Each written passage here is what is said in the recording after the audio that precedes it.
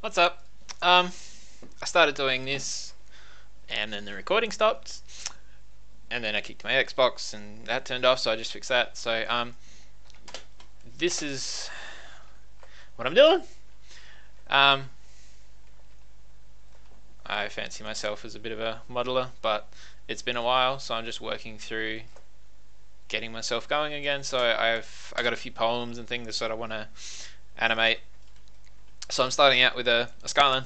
Um, my one of my favorite cars. Um, not necessarily everyone's kind of thing. So yeah, let's roll from there and get back on with it.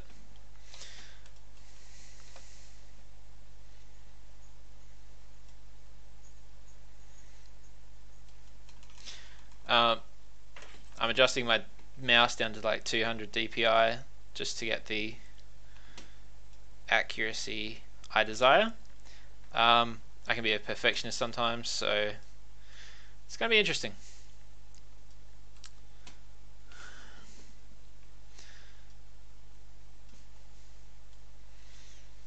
And yeah, it's I haven't used this version of Maya ever, so this is the first time I've used it. Um, a friend of mine gave me some shoots from his TAFE course. I did animation at uni as well, but his shoots were actually more informative than all of my uni course combined, which is kind of depressing. Um, but the main thing is that course got him to model a low poly car for game engine.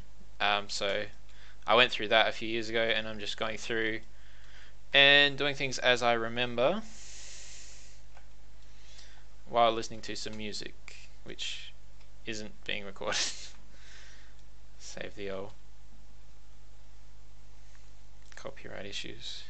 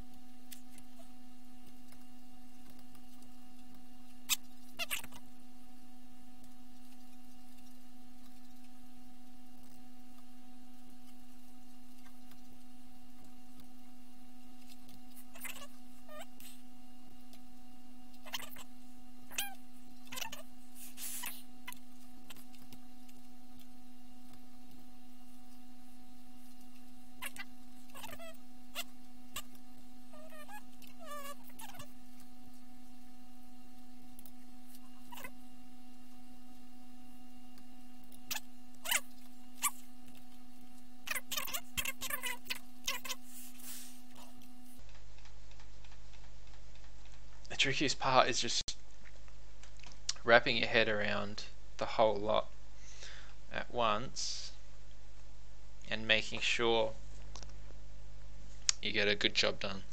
So ultimately I'm going to have to extrude up to this line here but I may actually need to put another one in part way along just to keep that curvature smoother but end up building around that or making and extrude there and then making faces like subdividing it there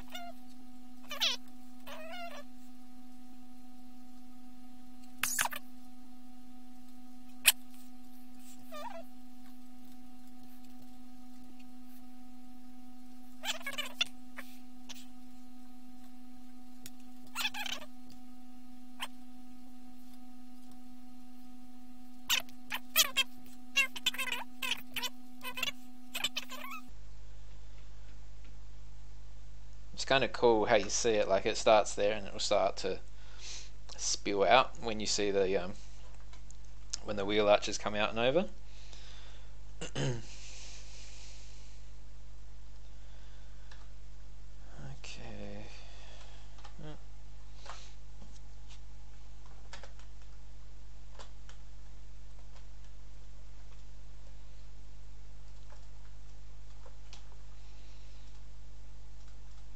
There you go. A plane.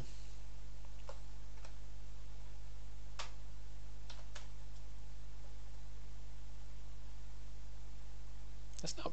That's pretty smooth curve, even if I do say so myself. Okay. Well, that's part one, so we might just uh, call it there. Thanks for watching.